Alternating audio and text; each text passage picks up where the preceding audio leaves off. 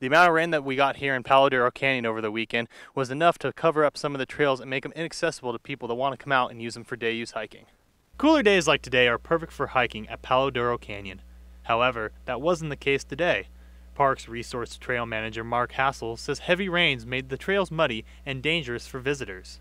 The trails are just uh, kind of sloppy right now, and we're giving them a few days to dry out. Uh, if you've been out on them, uh, when you're walking, you'll notice you you get about six inches taller while you're out there because you're picking up all this this uh, wet uh, sand. Hassel hopes Mother Nature helps dry out the trails before a crew is sent in to fix them. He says every time a big rain comes, it's normal for the river to overflow. When we get heavy rains like that, it comes over the banks and catches uh, some of the old channels here and will roll down the road. The water flowed through these channels right here out into the main river before overflowing its banks and onto the streets. Hassel says this isn't the first time trails have flooded.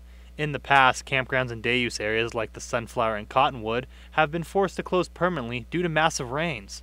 Sunflower Campground, it uh, flood took it out probably going on 20 years ago. Same way with the old uh, uh, Cottonwood day use area, which was everybody's favorite down here. They used to have big big cottonwoods and it flooded one time. Hassel says if you do venture out to the canyon this weekend, remember to watch for storms that may create flash floods. If you are out here, kind of keep a, uh, an eye on the weather. Uh, if you're up on some of our trails, do up some of these side canyons, and and I'm sure the flash floods kind of rolled through there real quick. So if you do get uh, down here, you do see you know a wall of water kind of heading your way. You know, climb climb up to safety. Hassel also encourages people to use common sense. Remember, turn around, don't drown.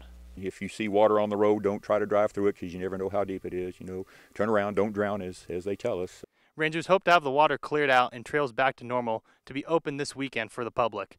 Reporting from Palo Duro Canyon, Mike Mackey, News Channel 10.